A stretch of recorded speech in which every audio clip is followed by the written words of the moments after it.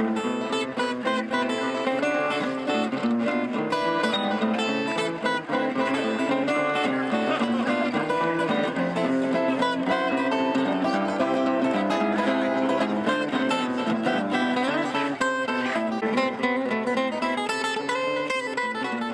right, hey everybody, I'm back with my good buddy and uh, co-host James Corbett.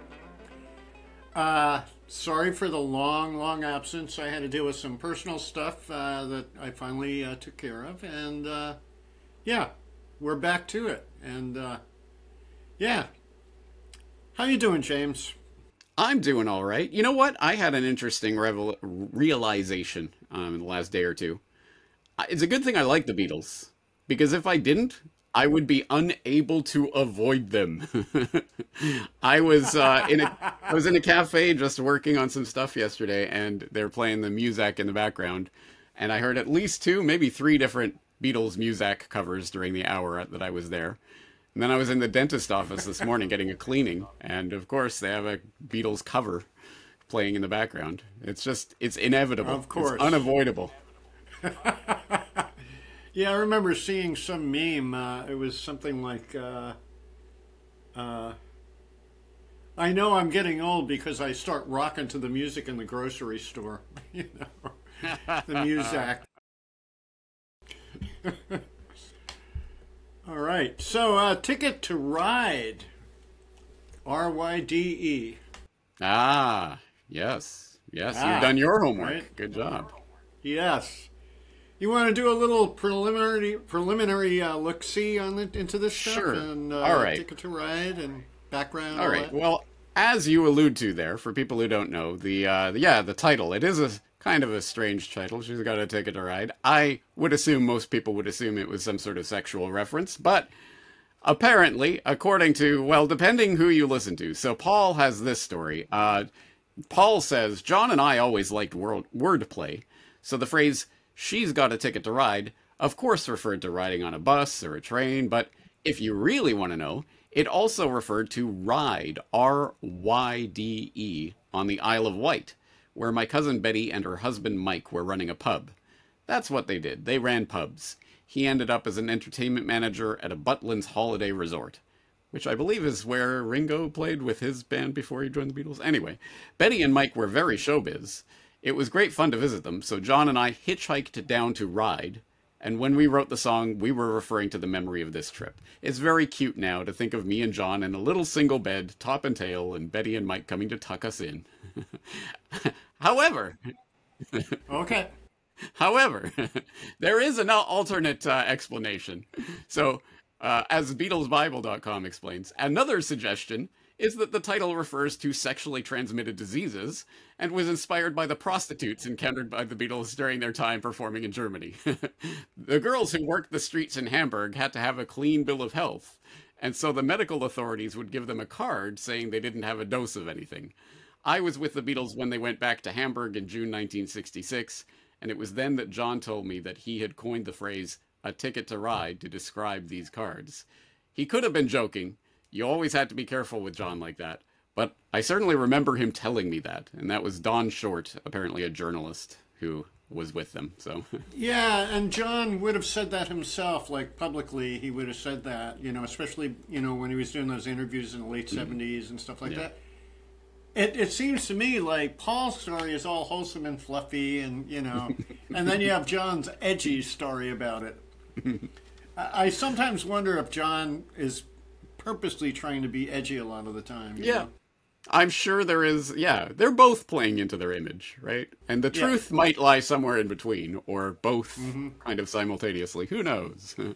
but anyway, uh, with regards to the actual construction of the song, um, as people may or may not know, it was the first uh, uh, song to be released from Help, obviously the soundtrack to the film Help. It was also, of course, famously part of that movie where they're going down the ski slopes in Austria learning to ski, and is, uh, again, an early indicator of the sort of the earliest music videos as we understand them. Comes from really the Beatles. Um, also, uh, Paul was apparently quite proud of the ending. He said, I think the interesting thing was a crazy ending. Instead of ending like the previous verse, we changed the tempo. We picked up one of the lines, My Baby Don't Care, but completely altered the me- melody. We almost invented the idea of a new bit of a song on the fade out with this song.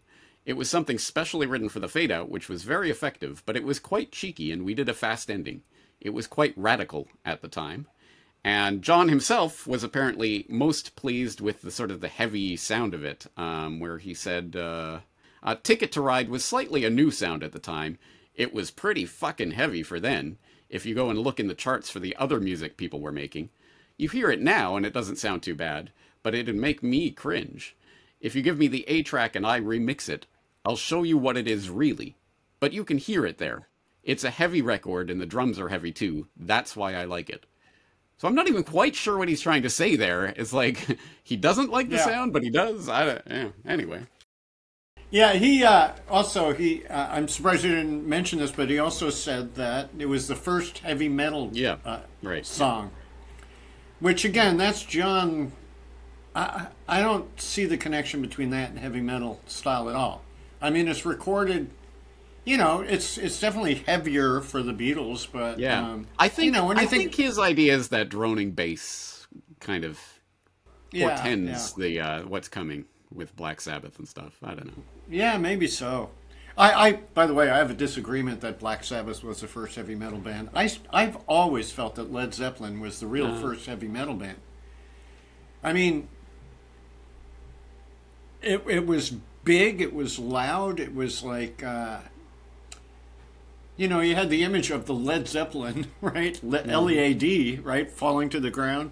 Uh, so to me, it's like, yeah, there's some heavy metal right, right there, you know. But anyway, Fair enough. side thought. A lot of people would hang me for saying that. They really do want to give Black Sabbath the credit for that. There you go. Uh, the only other thing I wanted to note um, about the recording, uh, which took place on the 15th of February 1965, um, which apparently was a one three hour session where they laid it down. Apparently, this was when they were just starting, instead of doing an as live version that they would record all together, this is when they started stripping it down and they would do the rhythm track and then they would do overdubs. And that was how this was done. Apparently, the first. Uh, that at first they recorded the uh, rhythm and lead guitars uh, to a one of the Abbey Road four track tracks, and then they uh, overdubbed the vocals, tambourine, guitars, backing vocals, hand claps, etc. Uh, that, you know what? That puts me in mind. Um, remember, I mentioned to you that maybe one day I'd like to do a podcast about Beatles first, the, the, the things that the Beatles did before anyone else did. Um, I wonder if that was the first time a recording was done like that with a band. You know, where you get the rhythm tracks and then you add the vocals later and, and whatever sweetening tracks. Um, but that that became the standard. I mean, ev- after that, bands were that's exactly you know even to this day. My band just recently went in and did rhythm tracks. You know, so yeah, cool.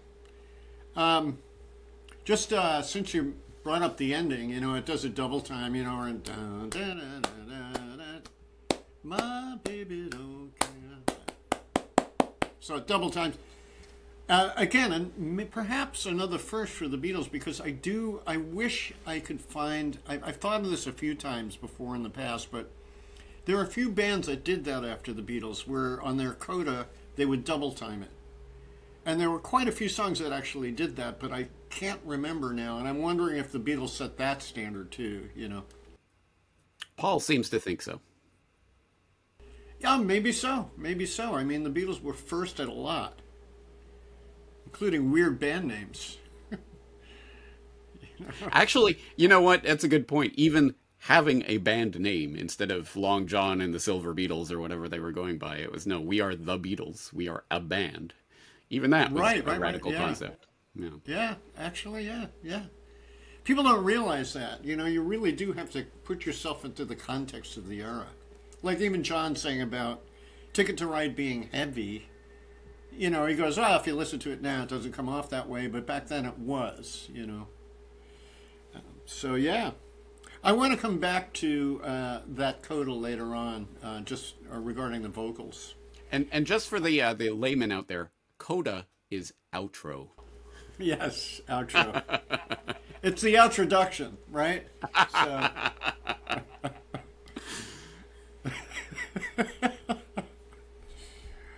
right, so uh, you want to get into this? Uh, any more? Anything else? Uh, all right. Nope, that's it for me. Now it's all you. All right, now James, I have to say, like, I think um, I was thinking today, I want to revert back to the original way I was doing things with these Beatles podcasts prior to you with my student Steve Anders, where it was just off the cuff. I just hardly did any research and I just talked about it. Yes, I did do research. I did make some notes, but I want to keep it a little lighter and not get so much into the micromanagement of, you know, certain aspects like, uh, you know, putting up a chord chart and everything. You can find all that stuff on Ultimate Guitar or whatever. So, all right, now uh, when I looked at the song, one thing that struck me immediately is I, I went to play. It's clearly in the key of A you can hear the A chord. I mean, my ears are definitely tuned in such a way that I can hear if it's if it's this formation, no matter what key it's in. You know, if it's over here, I could still tell that that's an A form over there. You know, just by sound. Um, and when I went to listen to the track, it, it's sitting somewhere between the key of A and A flat it's just this weird anomaly that happens a lot with the Beatles. Now, what I'm thinking has hap- happened here in this particular case is that um, there's no piano on the tracks. So I'm assuming that they just tuned all the guitars to whose ever guitar was in tune, and if it was slightly microtonally off, it was in tune with itself. So that might have been the case.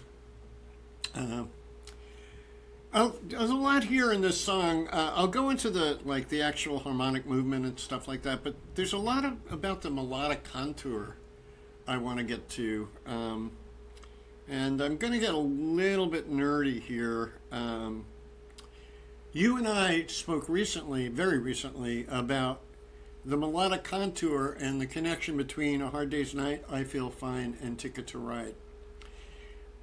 To me, this is like it almost sends a chill up my spine how prescient these melodic lines are, coming close to suggesting where they would move when they hit the psychedelic thing proper, like really in earnest hit the psychedelic thing.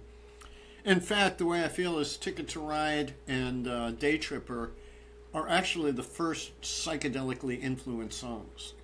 And in fact, Ticket to Ride uh, was put together just after uh, John and George had that uh, spontaneous LSD experience with their dentist, their weird dentist. But um, I, let me compare. I'm going to put all these melodies into the same key. Some of them are in different keys, but I want to put them in the same key so you could hear them. So, um, Hard Day's Night.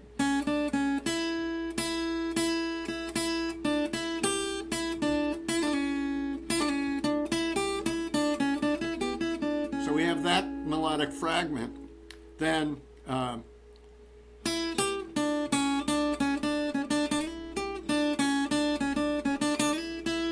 I feel fine.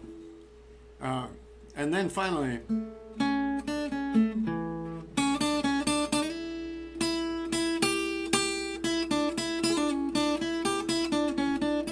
those fragments are in all three of those songs. Clearly, John had a liking and, and it felt a draw to that kind of melodic uh, phrasing. Uh, but this comes out of, I've talked about this before in podcasts, but I want to speak about it again. Um, this comes out of what I call the Mixolydian pentatonic scale, which isn't a pentatonic scale proper, but it's a, a tweaked pentatonic. And I got the thought one day, like if you took the formula of a minor pentatonic scale, A minor, we have A, C, D, E, G, and in terms of relationship to the key of A major, this would be one, this would be flat three, four, five, and flat seven. And what I chose to do was I said, well, let me um,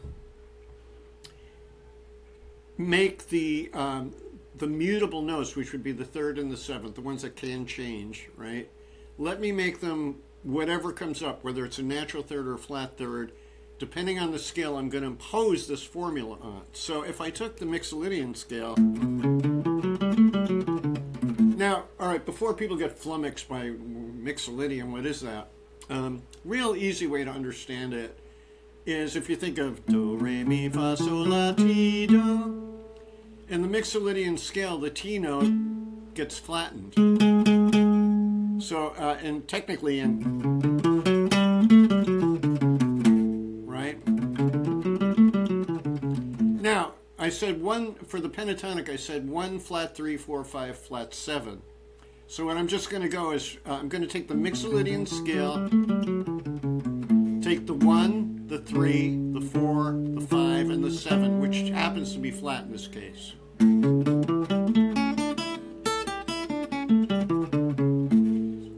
Right away that scale is, is a real Indian raga that uh, George kind of hinted at but didn't quite fully do. He added a note to it, but in um, those first four notes are just like. or a Ticket to Ride or whatever. It's all part of that whole. Which in the 60s was uh, after the psychedelic revolution began to happen, that was felt as a psychedelic scale. Many, many bands began to use it. You could hear it in Strawberry Fields later on. It comes up a few times. So I thought I'd mention that that there's um, it's a it's a kind of foreshadowing uh, of the psychedelic period, and that always blows my mind. Uh, you know, you think about the title of the two kind of songs that were being worked on at the time. I think they made a, a video for this and for Day Tripper in the same session. Ticket to Ride. All right, one thing that's not mentioned is is possible drug reference because back in the old days, hits of acid were known as a ticket because you're taking a trip. So you, here's your ticket, right? So it is possible that uh, John might have been influenced by that. I always thought it was a little odd, even when I was a kid and I heard that these titles. I thought they were references to drugs, and I didn't even know much about it. Uh, and of course, Day Tripper, right? So uh, yeah, that. All right, so uh, got our intro.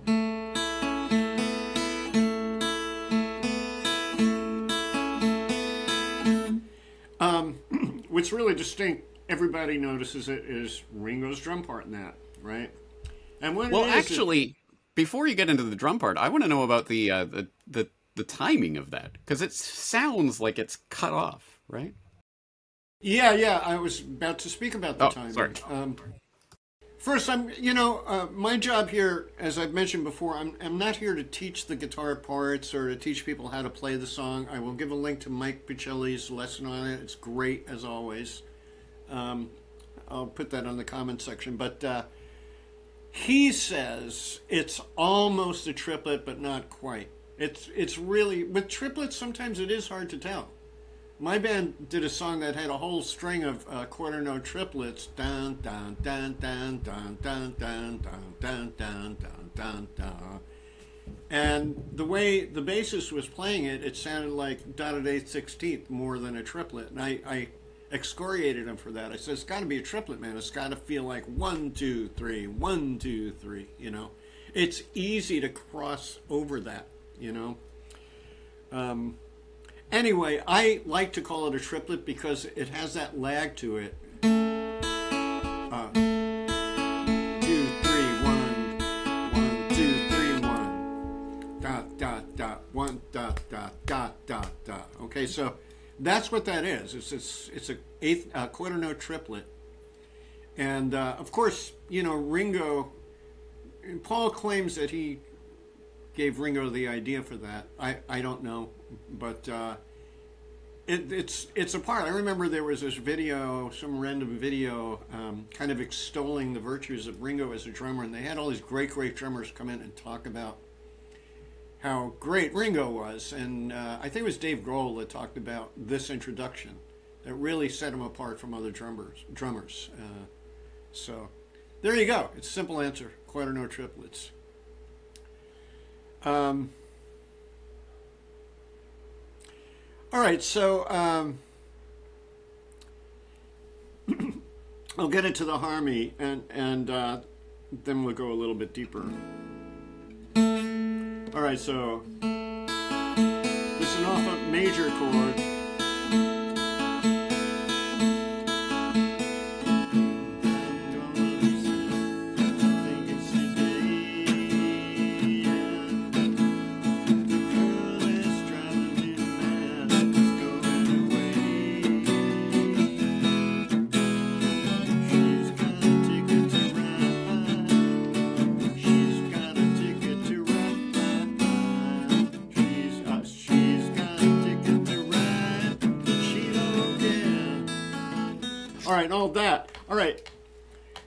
So what we have here are the chords A, but the melody sings the flat seven on the chord, so we have an, an A7. This leads to two possibilities. This is blues or this is mixolydian.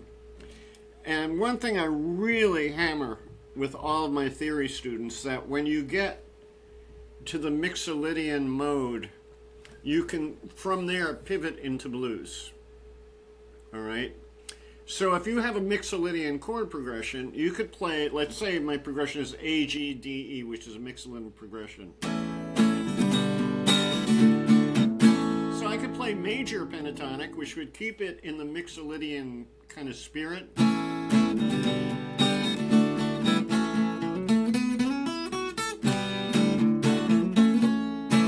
Or I could play minor pentatonic.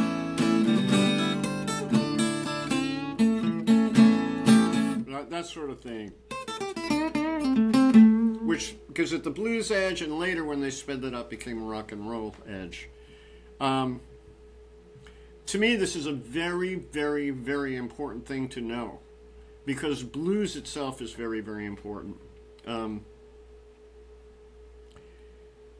all right, so I did a little analysis of this, a quick one.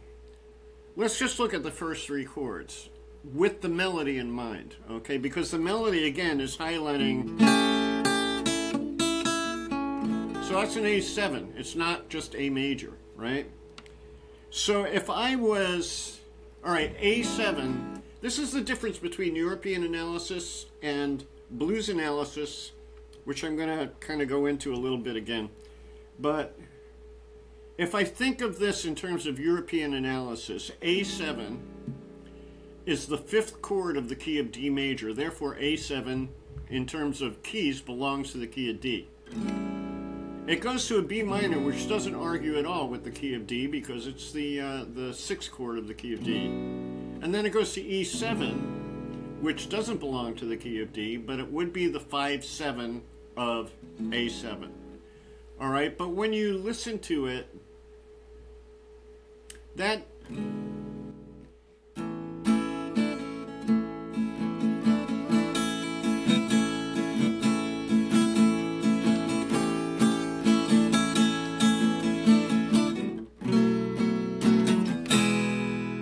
right, that sounds very, very, very major. First of all, all right. So you wouldn't detect that there's there's a blues element in this yet. You wouldn't go playing against that progression, right? Um. So right now we're in what I call European style harmony. All right. European style harmony. I, I, I once had a big argument with somebody over this online, of course. Uh, to my mind, European harmony is a linear form of analysis that a good deal of jazz music deploys. All right. Then there's a separate kind of harmony which is purely American, specifically Black American, that is blues harmony, and it is not linear as as it is with European harmony. So anything that you can analyze linearly in a linear fashion, saying, "Oh, this is a tritone substitution. This five seven of something. This is secondary dominant, whatever." All of that stuff is really European harmonic analysis. All right.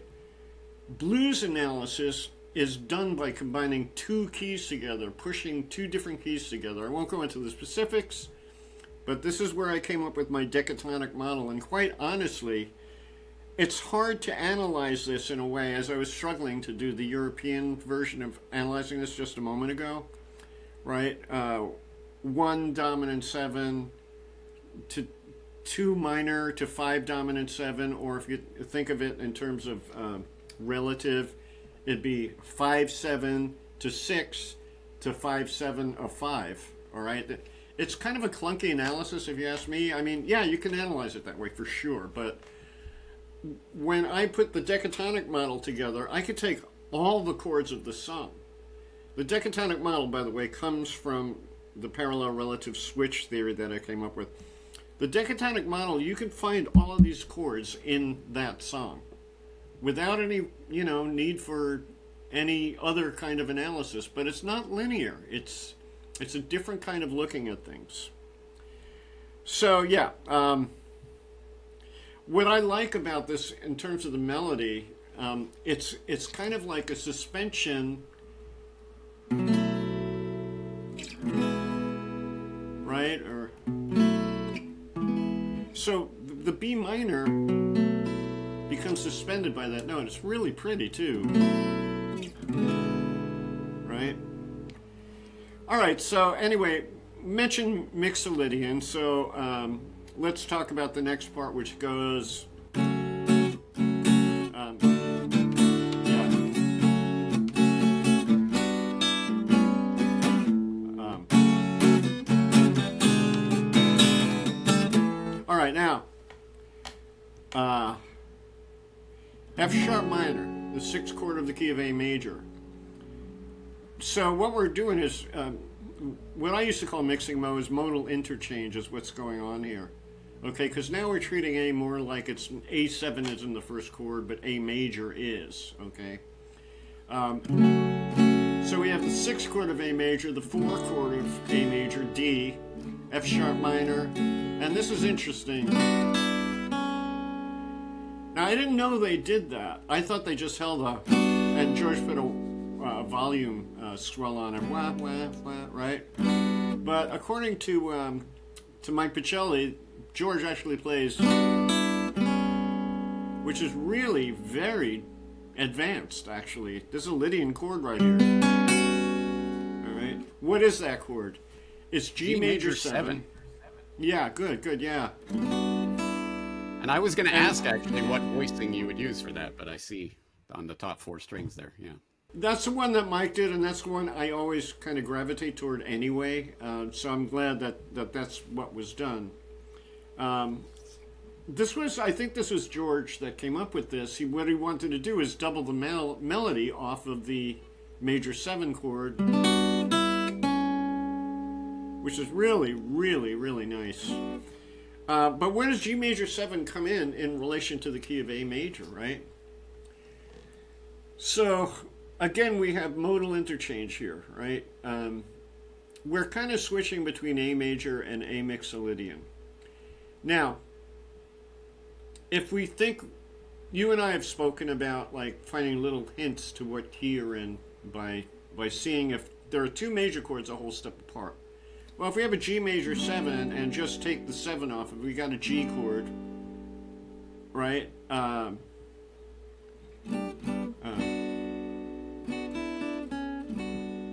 and then our root chord is A major, right? So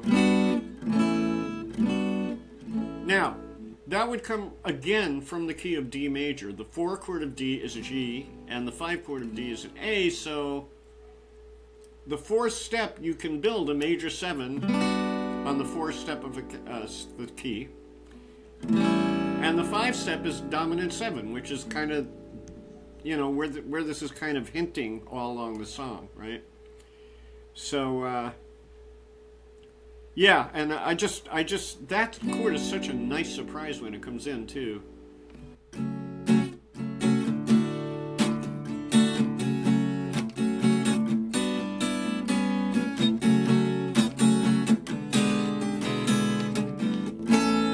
all right so I think I heard blues in there.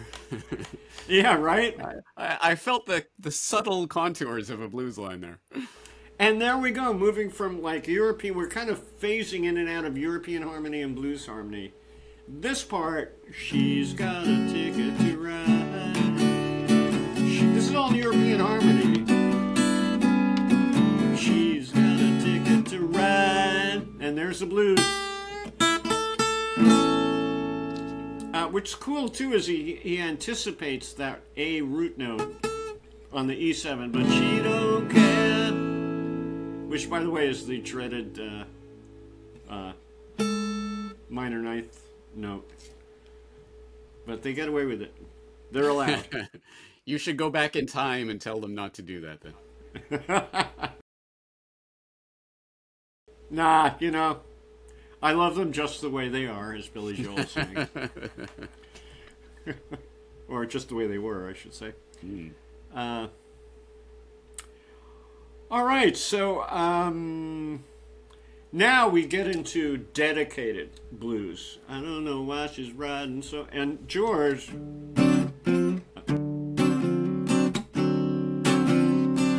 even throws the blue note into this, this D7 chord form. So we've gone from A to D7. One, when four is a dominant seven chord, which in the key of A, D7 would be uh, the four chord, or A tonic, whatever you want to. This is so hard to talk about because it's all clear in the decatonic thing, but I have to speak in terms of the way other people speak. And, but um,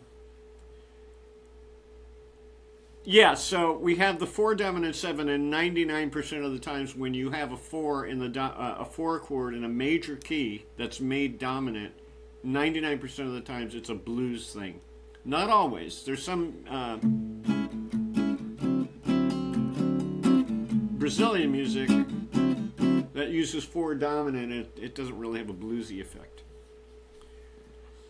All right, but you know, still that could be even pulled out of the uh, decatonic model. Um, so, uh, so, just out of curiosity, if you weren't referring to it as a four dominant seven in this weird way, if what would you call that in the decatonic model?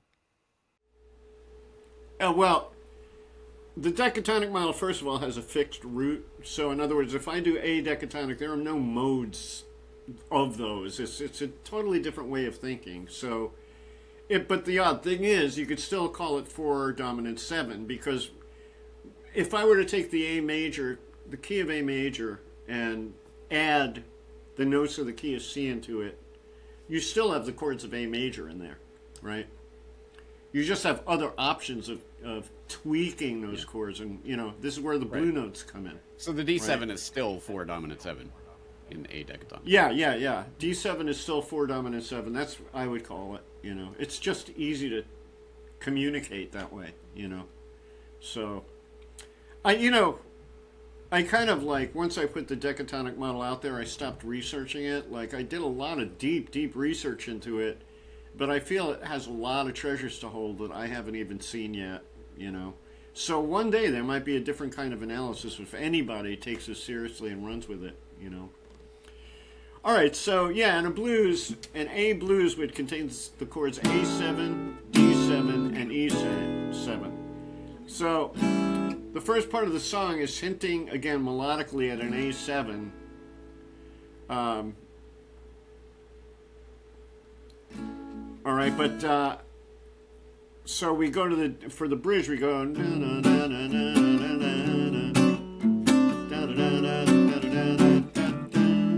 E7, D7.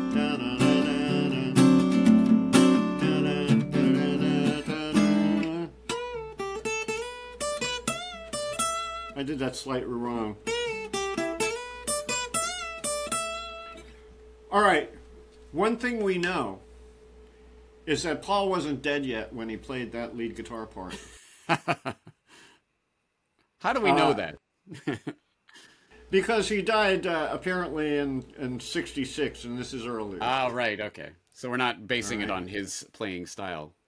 Yes. And uh, just as a side note, James, I might have mentioned this to you, but like you know, those guys who believe that Paul is dead, if I was obsessed about proving them wrong, what I would do is musical forensics. In other words, like right. yeah. turns of phrases and ways of playing instruments that were consistent yeah. before he was dead and after, right? Exactly like you pointed out with John's melodic contours.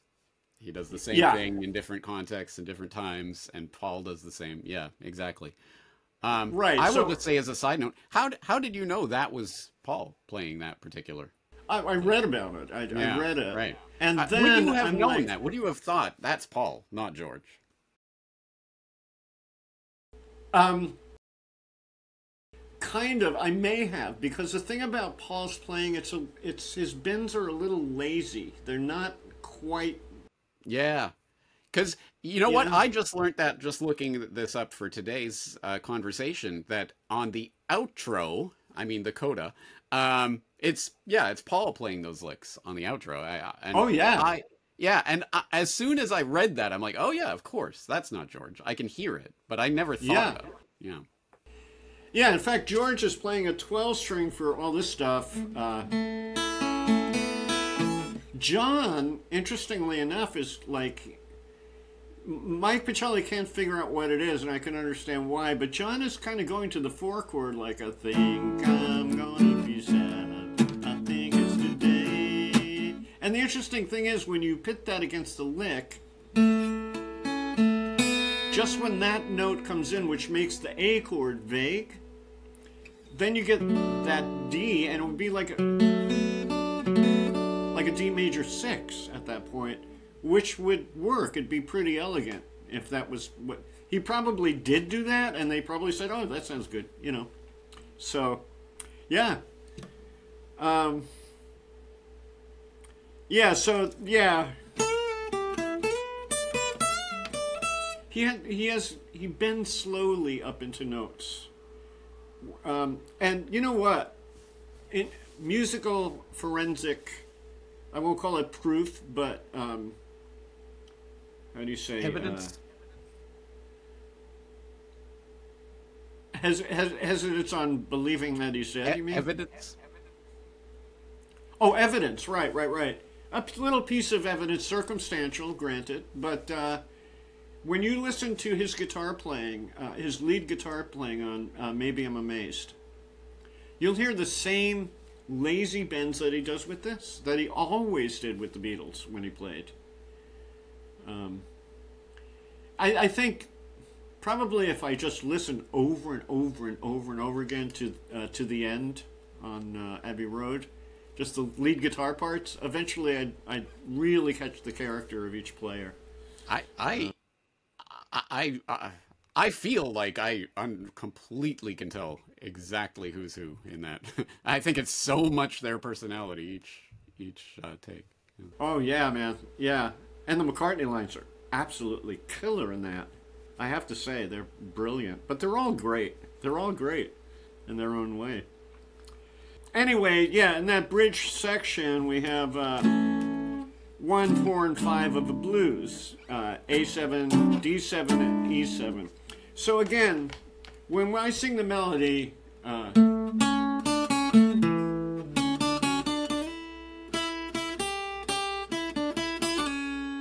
that is is pure European melody. It's not bluesy. If it was blues, it'd be rather than landing square on the third of the no, of the A chord, right? That'd be blues, and he didn't even inflect it to suggest blues. So this is what I- you know. Back in the day when I first started these things, my whole objective was weighing in the Beatles music which chord progressions are European influenced and which are American blues influenced. And this song is a great example of swaying in and out of those two two uh, categories. All right, so uh, all right, I hit I hit really on a lot of my points. Um, just wanted to mention, oh, the vocals. Yeah, the vocal. Um, anyone that's familiar, really familiar with Bob Dylan during this era, would hear the Dylan in John's voice. It's subtle, but it's there. Uh, I can't I can't sing that song, but living with me. There's that kind of ending of a phrase is very Bob Dylan. There's um I can't explain it, but there's an airy quality mm, uh, to Dylan singing on some occasions there was a singer in the 70s by the name of Gerry Rafferty. He did the song uh, Baker Street. And he had that quality in his voice that John is using in this one, and they both sound a little Dylan esque. I just wanted to bring that out. There, Dylan was influencing a lot of people then. A lot of people. Even Paul And was clearly, influenced clearly influencing John and Paul in this era I- for sure. Yeah, Yeah. yeah, and, about- and John, Sorry, go on. go on. Uh, I was No, just going to ask. we got a little delay. You do it. You do. it. How Go, about go. Yeah. Harmonies in this? Is there anything of interest to note about that? Uh, well, um, when we go into the bridge, it's just thirds. Uh,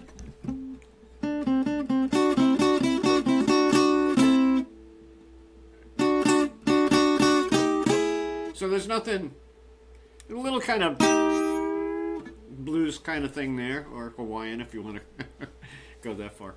Um, but yeah, um, it's almost like uh, almost like a bagpipe melody because um, I mean the harmony because what all right so John sings the melody uh,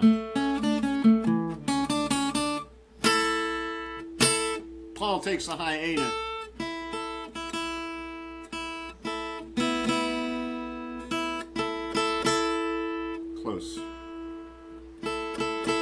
right so Now, this gets interesting, and kudos to Paul for harmonizing this because this is not an easy. There's some melodies that are very hard to harmonize. When they make pentatonic leaps, and remember I said this is a mixolydian pentatonic. When they make these pentatonic leaps, it's hard to, to actually follow the melody and harmonize it in an elegant way. Um, so anyway, um, what he does on so that melody, right? Um, he sings that third on top of the.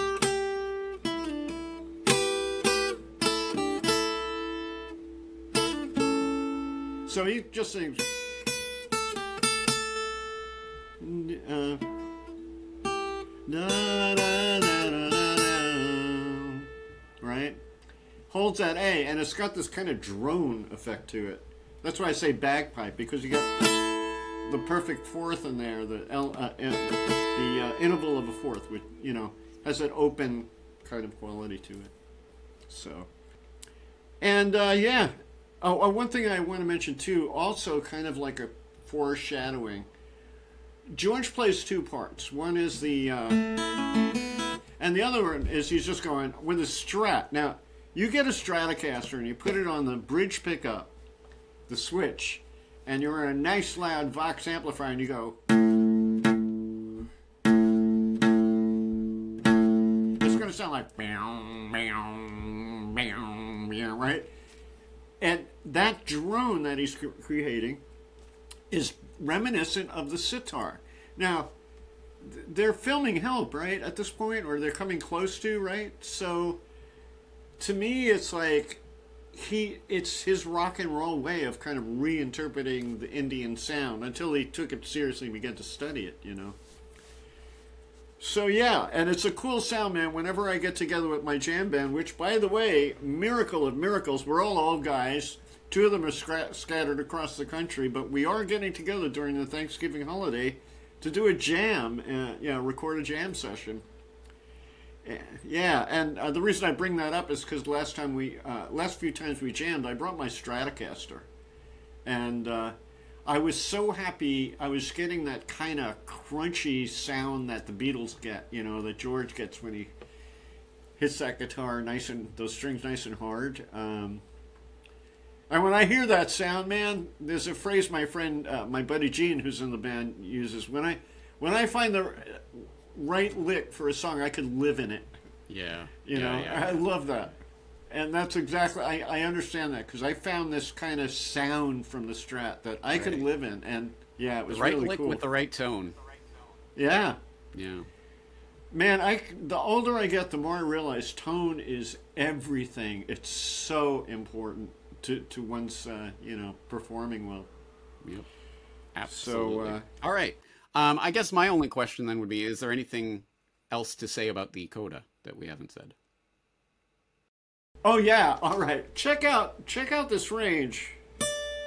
Now, I want you to hear this and then this. They're an octave away, right? Right? And all Paul Paul does at that point is um, my baby don't care. He sings on the don't care. He sings high A again. So that's uh, yeah, uh, and that's John. You can hear it's a falsetto for that high part, but great work on that falsetto. It's really spot on, you know. And I think what I want to comment about that is just where the hell did they get that melody line from? It's just so weird and like I, I just don't get it. I, I don't understand like, who would think of that? I, I, I, just can't figure it out. It's just crazy to me. It's just crazy. It's great, but it's like. Yeah. It is not intuitive. That whole ending section, like, where did this come from? Why? who knows? Yeah. I think Paul had said something about it that uh, it it it felt like like almost like the beginning of another song they were going to start writing, but they Yeah. kept it for that and they were really happy with it. Yeah. Yeah. So. Uh, All right. yep. I think we covered the bases. Another I- one in yeah. the band. Yeah, I think so. And uh, for all you folks, uh, really sorry, really sorry it, I took so long to get back to you, but uh, expect more in the future. We'll we'll get back to it maybe like once a month, and uh, maybe a little surprise too. You know, a little surprise podcast. We'll I hope talk so. about that Yeah. off the theme of uh, you know just analyzing Beatles songs, but a completely. It's about Beatles, but different. Yeah. of course it's about the Beatles, but a different thing. Yeah, right. All right. So, uh, yeah, James, uh, thanks for joining me again. Was there anything you wanted to mention before I, I could because I interrupted you? Uh, Um, no, no, no, no. I think we covered everything that I would wanted Okay, to cool. talk about. Yep. All right, great. Well, uh, thanks for joining us, and uh, see you next time around for the next Take care, one. everybody. Take care.